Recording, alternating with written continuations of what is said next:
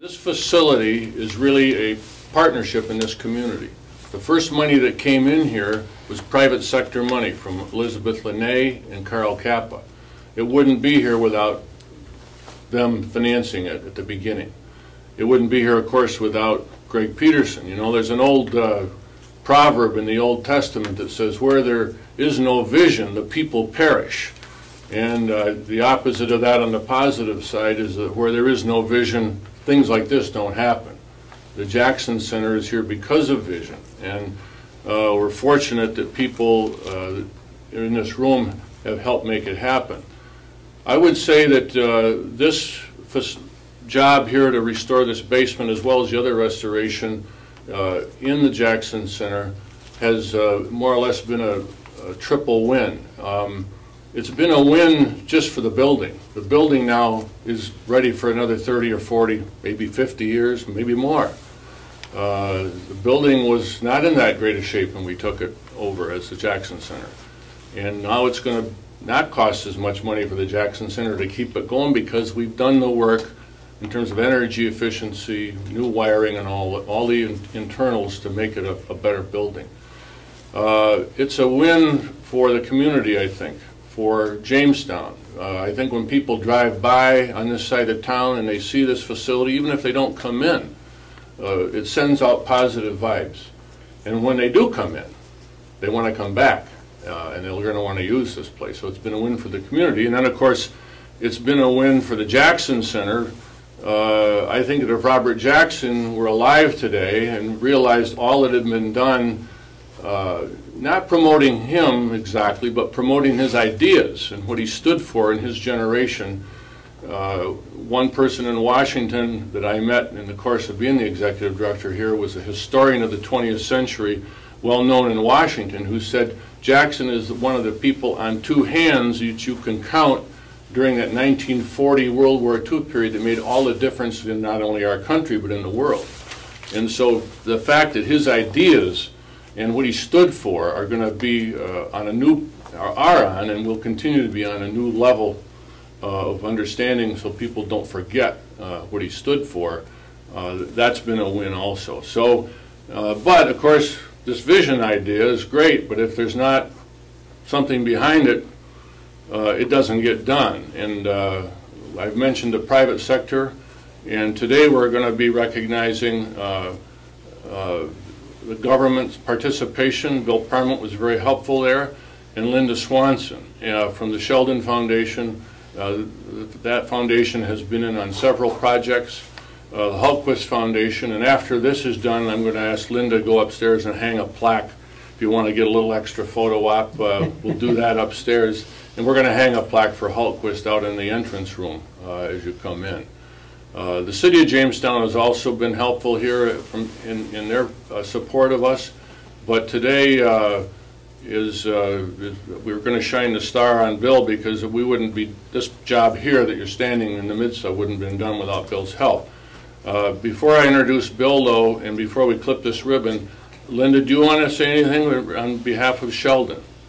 Um, just that I joined the foundation. Lasser was um, definitely a champion of this, uh, along with the other trustees, and um, they've given multiple times to the capital improvements in this um, building and are very proud of it, um, as you all are too. So thank you for recognizing their efforts. Well, thank you, and please convey our thanks to the, the Ralph C. Sheldon Foundation uh, Board. You know, a person that works in Albany tries to figure out how the state tax dollars should be spent.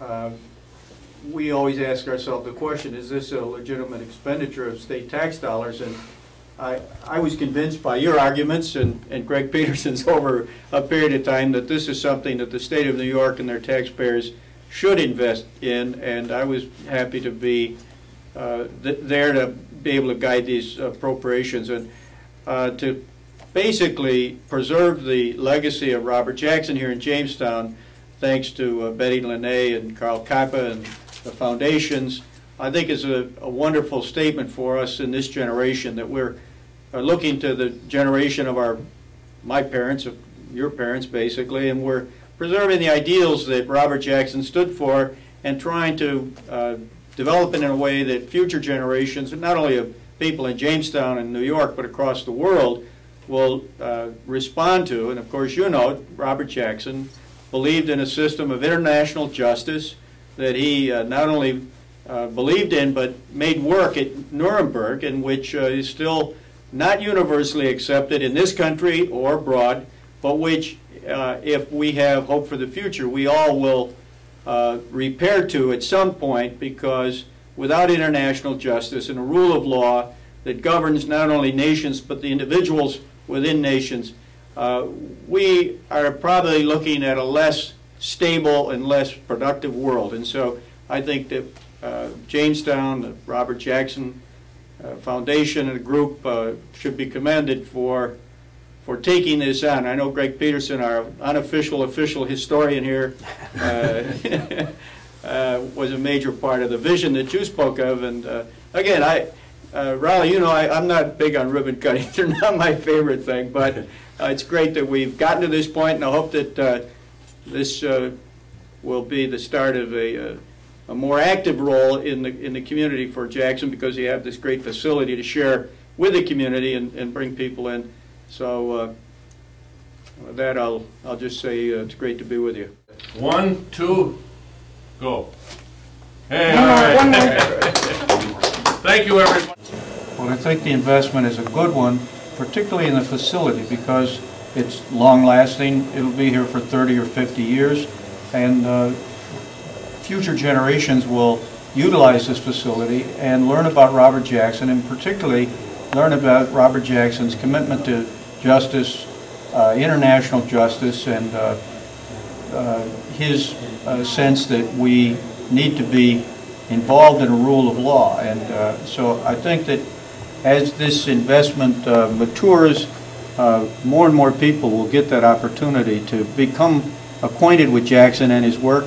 And of course, there'll be other community activities in this building. The building is used uh, already for uh, small group gatherings and uh, forums, uh, lectures and that type of thing. So uh, the, the investment by the state creates both an opportunity to advance the legacy of Robert Jackson, but also to provide a community facility for group gatherings. And I just think uh, that it's an investment well made, particularly because we've had partners, both private sector people, uh, uh, Betty Lenna and Carl Cappa were uh, early investors in the Jackson Center, and the foundations here in Jamestown and so when you have uh, funding partners, it makes uh, the money uh, that state taxpayers invest go further. And, uh, and so it's a great partnership, and I think we, uh, we're going to be well served by uh, Uh, this investment.